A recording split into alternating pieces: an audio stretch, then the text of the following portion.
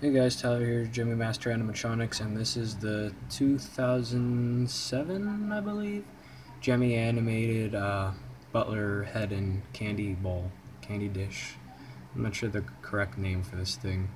Just call it the Butler head and candy dish. Um, I think it's a really cool product. Um, I think it was more for like decoration purposes than a candy bowl because as you can see, there's like not very much space to put candy in it.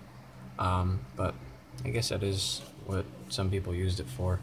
Um, it's what I use it for on Halloween anyway. I, I put candy in it and handed hand trick or treaters candy out of it. But um, there's many different versions of the head-on candy bowl. There's the skull with uh, um, green eyes, I believe, and then there's the skull with the moving eyes, which is the one I had as a kid, which I'd like to get back.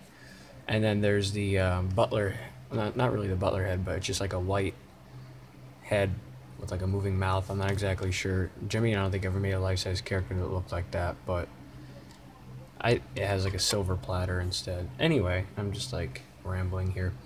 Um, anyway, this was sold at Kmart.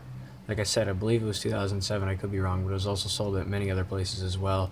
The only place I remember seeing it at is Kmart. It might have been sold at like a Walgreens or something too. Really not sure.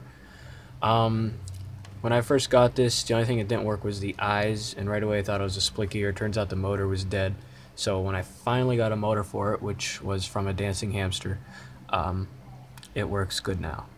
Um, sometimes the eyes get stuck to this side. I don't know why. All you have to do is give them a little push and they start moving again.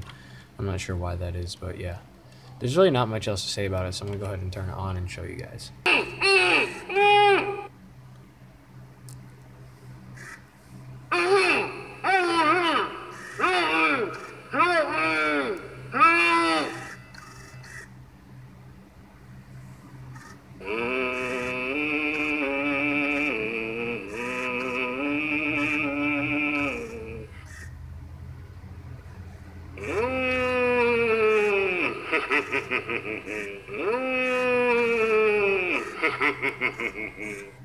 yeah, that's pretty much all it really does. I think it's a pretty cool product though.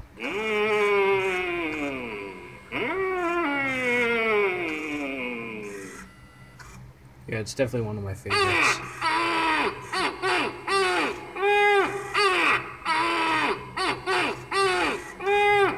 Alright, that's it. Hope you enjoyed. Thanks for watching.